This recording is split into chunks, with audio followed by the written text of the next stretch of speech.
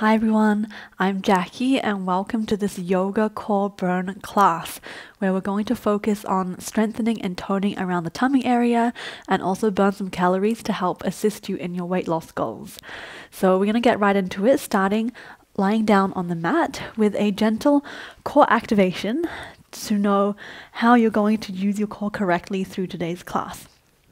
So laying down with your knees bent about hip width distance apart First of all, just take one hand and slide it underneath your lower back. And in your fully relaxed position, you have this natural curve in your lower back where you can extend the hand almost all the way to the other side. So that's not how we want to use our core during today's class. So release the hand from underneath and I want you to flatten that lower back against the mat. Now it's a very subtle movement and you'll know that when you do that, your pelvis tucks under just slightly and there's a little activation going on deep inside your core. If you take your hand and try to slide it underneath, it won't go very far this time. So that's exactly the position that we want to keep anytime we're doing any core exercises. So just take a few of those, relaxing and then flattening the lower back. Relax and flatten. You might not feel that there's much movement or anything going on, but it is a very subtle movement. And maybe just hold it there and just notice everything that's working inside. The little activation around the sides of your core, on the top, the lower abs, they feel like they're drawing towards the lower ribs as well. They're pulling together as the back lengthens. All right, release and flatten the lower back. Release and flatten. One more time. Release and flatten. Nice. Release. Let's take the hands behind the head this time. I'm Going to make it a little bit harder. So this time when you flatten the lower back, you're going to bring one knee into your chest and then lower. Relax the lower back. Flatten and bring the knee close. And then keep going. Make that action start from flattening the lower back, engaging the core, before you bring your knee and your chest up. And try to keep the elbows nice and wide. Try not to pull yourself up with your arms.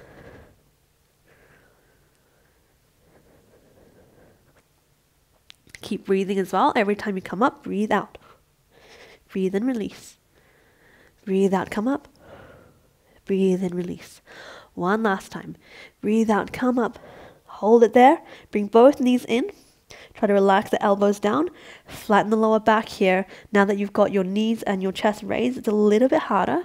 You're going to extend one leg and then alternate. Keep pressing that lower back down into the mat. Engaging the core. Breathing. Try to activate those legs as they lengthen as well to make them nice and light couple more each side. Keep that lower back pressing down against the mat. One more time each side. And lower. Bring your knees into your chest. Give yourself a big hug. Maybe a little rock from side to side.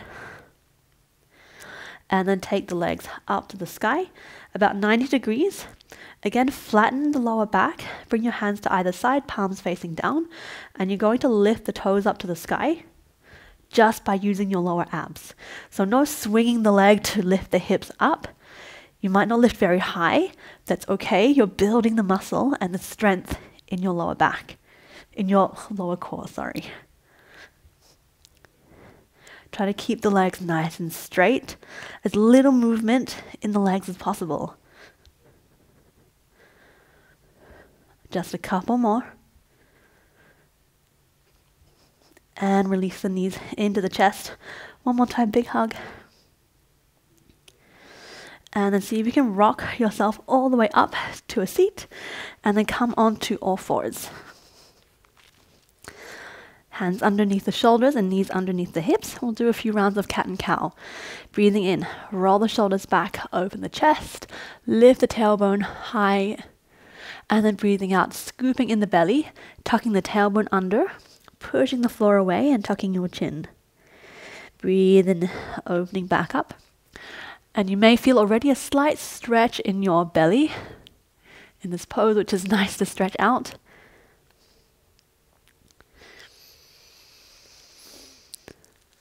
Just following your own breath here. One more time, breathing in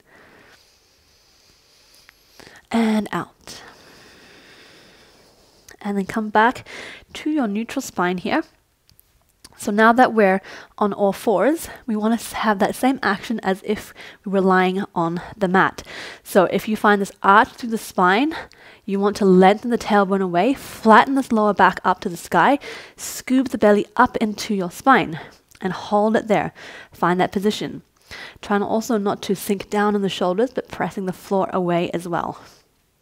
Once you've found that position, extend the right leg out behind you, parallel with the floor with the toes pointing down to the mat. So not to the side, but turning the kneecap and toes down.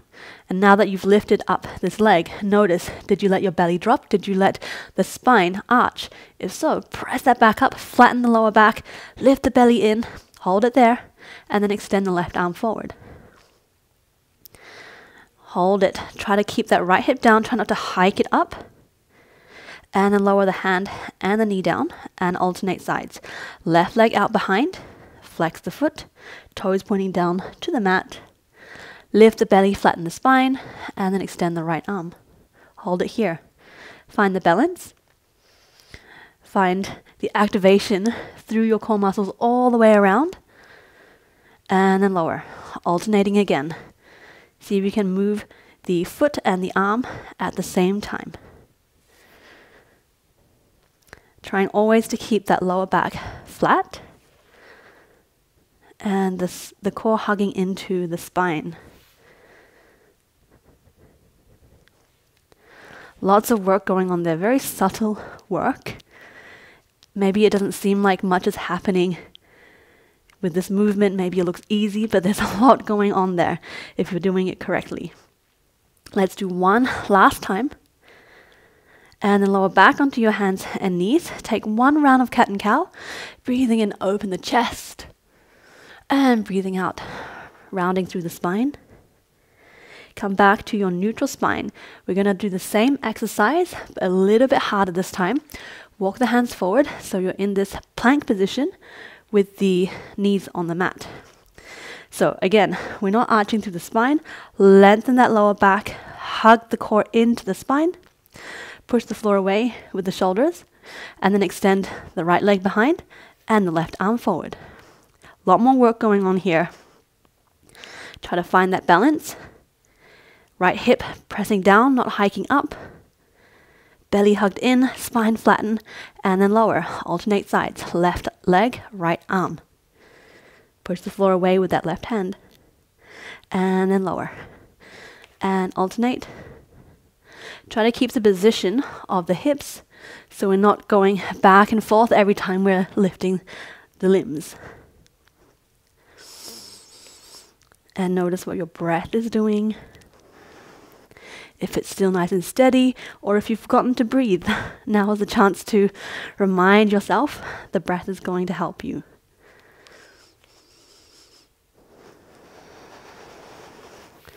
All right, let's do one more time each side.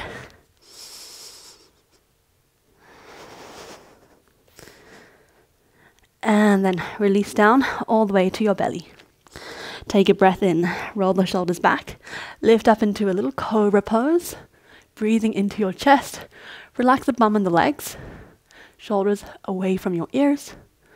And then breathe out, forehead coming down to the mat. Curl the toes under, hands are underneath your shoulders. Going to lift up into plank. Try to bring everything up at the same time. So your core really has to lift up to bring your hips up at the same time as your upper body. So take a big breath in. And on the breath out, push up. Nice and strong and fast. And then lift the hips back into a down facing dog. Take a few moments here just to walk out your feet, make any movements that you need.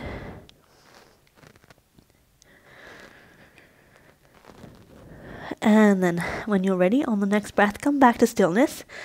And then bring the knees down, almost touching the mat. So they're hovering off a couple centimeters off the mat. You can shift the hands a little bit closer if you need to. Again, flatten the lower back, no arching here. Push the floor away with those hands, shoulder blades up to the sky, and neck in line with your spine. So try not to drop the head or look up. From here, you're going to walk the left and right hand forward, and then the other. Keep this core engaged, and then back. As little movement in the body as possible. Just the legs and the arms are moving up and down your mat. Keep the belly lifted up. One more time forward and back.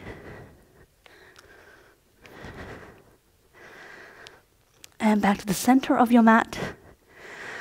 Hold it here. Let's hold for another five, four, keep breathing, three, lower back flatten, belly up, two, and one. Lower the knees down, untuck the toes, come into a child's pose. Chest and forehead on the ground. Walk the hands forward. Ah, take a breather here. Find your breath. Try to slow down and steady your breath here. One last breath. And then when you feel ready, going to come forward into a forearm plank. You can interlace the fingers or place them palms flat, flat down, whatever works better for you. And then straighten the legs, lift up. Hips in line with your shoulders, belly hugging into your spine, back flattened. So again, not arching through the spine, lengthen the tailbone down. Press the floor away with the forearms, holding here. Neck in line with your spine. Pressing through the heels of your feet and also the crown of your head. Holding here. Breathe. Keep lifting the belly up. Even when you're tired, that's when you have to work even harder to activate those muscles. Another five seconds. Five, four, three, two, one. Don't lower down. Bring the left knee into the left armpit and then send it back. Right knee, right armpit, and back. A few times just like this. Breathe out as the knee comes into the side. Breathe in as you lengthen. Keep the core activated. Pushing the floor away with the forearms. One more time each side. You're doing really well. Oh, and lower the knees down. Come back into a child's pose. Lower the forehead. Relax. Maybe a little sway from side to side. Find your breath. And slowly coming back up. Gonna find a seat and come into boat pose. So legs come out in front. Try to sit right up on your sit bones here. Take the hands and the fingertips forward. Roll the shoulders back, lift the chest up to the sky. Find a nice straight spine here. And then you're to lean back just a little bit. When you lean back, you'll notice that your core is activated a little bit more and also your hip flexors. So this crease in your uh, legs here. Keep the shoulders rolled back and then we're going to lift the legs off the mat. Hold it there. You can also release the hands. You will have to lean back just a little bit more as you lift the legs, but try to keep that spine nice and straight. From here, extend one leg. Back will go a little bit further back, and then bring it in. Crunch in. Back. And lift in. Breathe out as you bring the knees back in. That lower back is, again, being very flat, finding no arch, and also not curling too much either. You want to find that happy medium.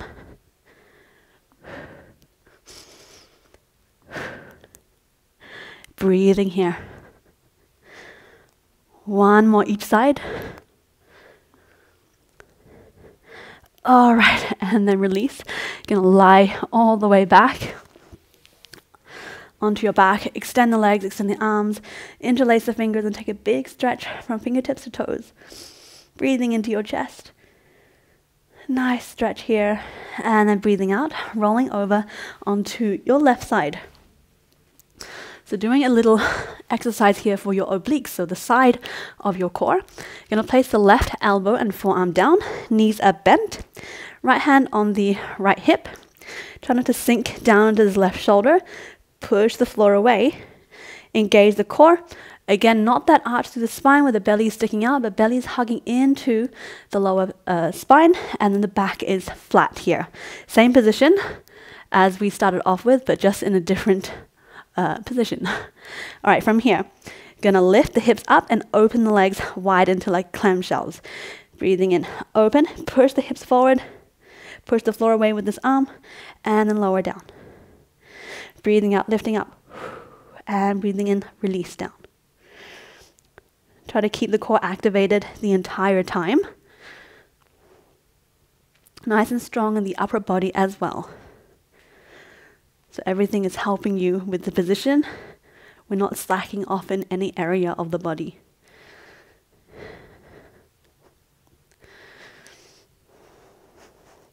Really press those hips forward as you come up. Squeeze the bum. One more time. You're going to stay up and then just drop that top knee down on top of the left. Reach the right arm up to the sky, breathing in and then breathing out, twist. Thread this right arm underneath the left armpit. Breathe in, reaching up. Breathe out. Breathe and reach up. A few more times. Keep those hips lifted up. Maybe it's starting to burn in the side of your core, and that's great. Two more times. Breathing out and in, out, and in lifting up and then lower the hips and the arm down. Gonna roll over onto sitting again, back into that boat pose position. You can do this with your toes on the mat or feet lifted. Hands to the heart center. Gonna twist to one side and then the other. One side and then the other.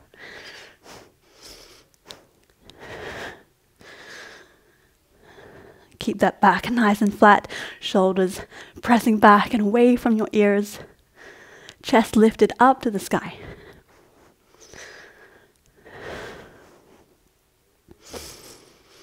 One more time each side. All right, lower down. You're going to roll over onto your right side. I'm going to spin all the way around so I can continue facing you. Going to do this on the other side. So right elbow down underneath the shoulder, Push the floor away, we're not sinking down. Hand, left hand on left hip. Take a breath in. And as you breathe out, lift the hips up, open the knees wide, and press the hips forward and squeeze the bum. And lower down. Breathe out, lift up, and breathe in, lower down. Keep going. See how high you can lift those hips up, the left hip up to the sky. Belly always hugging into your spine, never letting go. Shoulders rolling back, pressing the floor away with his right arm. If you've forgotten about it and sunk into that shoulder, press it away. All right, two more times. And last time, stay up. Drop that left knee on top of the right knee. Breathe in left arm up to the sky. Breathing out. Thread it underneath. And breathe in, lifting up. Breathe out. Twist. Breathe in, lift. Keep going. Keep those hips lifted.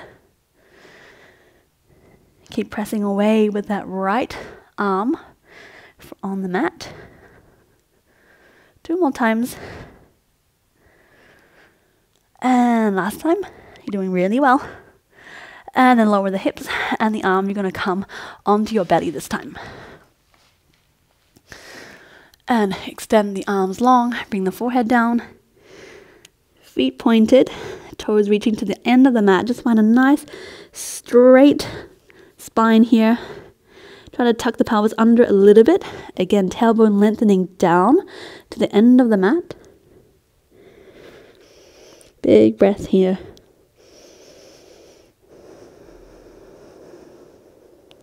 And then release, lift the head, bring the elbows underneath the shoulders, fingers spread wide and pressing down onto the mat. Sphinx pose. Breathe in, roll the shoulders back, lift the chest up, push the floor away with the forearms, and then gently pull them a little bit towards your body so that you feel your chest coming through in between your hands. And when you do that, you might feel a nice stretch along the front of your belly, everything that we've worked today. Try to keep those shoulders away from your ears as well. Relax the legs, maybe give them a bit of a shake. Relax the bum as well. Big breath here into your chest. And breath out, maybe through your mouth. Releasing all that tension. One more time. Deep breath in through your nose and out through your mouth. And then lower down. Press yourself back into a child's pose, knees wide, toes together. Bring the hands forward. You're going to take the right arm and thread it underneath towards the opposite side of the mat and then lay all the way down. Back of the hand rests down. Left hand can stay there, or you can bring it behind your lower back and reach towards your right hip crease. Maybe close down the eyes here. Now is the moment to relax. You can soften your belly down to the mat. No need to hold on tight anymore.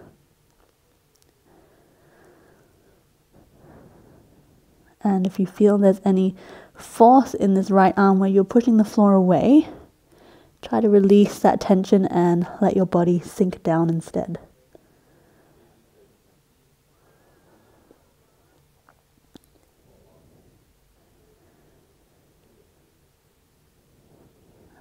One more breath on this side. And then if you have your left arm behind your back, bring it down next to your face. Breathing in, lifting back up, bring the hands forward and swapping sides. Left arm threads underneath towards the opposite side of the mat. Back of the palm down and then relax the head down. Right arm stays where it is if you had it there on your first side. Otherwise, bring it behind the lower back and towards the left hip crease. Again, if there's any force pushing away with that left arm and shoulder, see if you can release it and just sink the body down on top of your left arm. Close your eyes. Mm, let everything in your body release.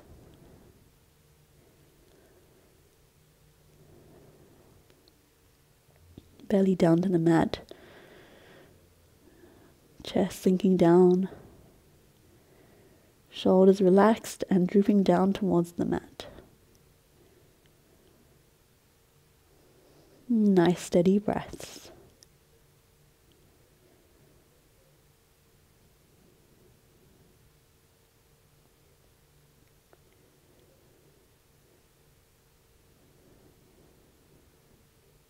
And on the next breath, release the right hand back down next to your face. Breathing in, lifting back up. Bring the hands forward and just take a moment here, rolling the shoulders back, lengthening the spine. Close your eyes, pushing the floor away. Deep breath. And out through your mouth. Slowly open your eyes and come back to a seat. Thank you so much for joining me today. I hope you enjoyed that class, and I will see you back here for the next one. Bye.